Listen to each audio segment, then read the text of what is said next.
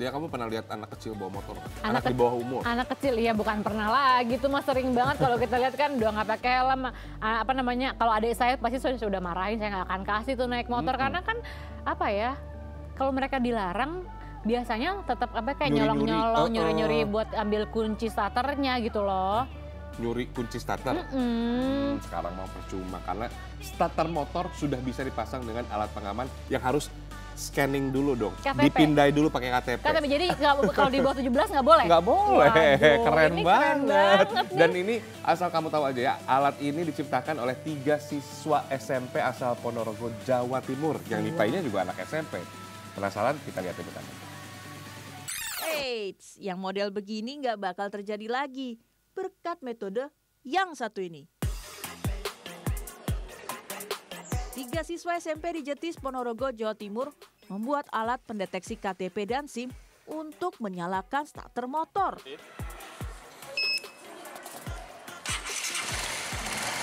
Ya, Andi, Pangki, dan Maul berhasil membuat alat pendeteksi KTP yang menancap di motor. Alat ini berfungsi sebagai pengaman dan pengunci saluran listrik motor. Starter motor baru akan menyala jika alat pendeteksi ditempel KTP si pemilik motor yang sudah diprogram sebelumnya. Jadi ketika kita scan, itu awalnya sistem pengapian itu akan terputus. Setelah kita scan dan cocok antara nomor SIM dan ID KTP, maka akan eh, terhubung dan sepeda motor akan bisa dinyalakan.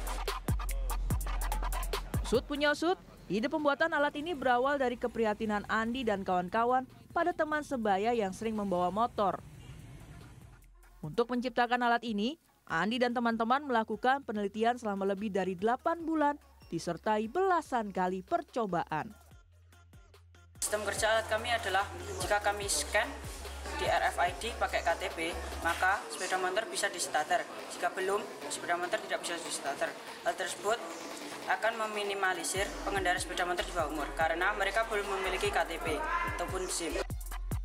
Biaya pembuatannya sekitar Rp250.000 saja.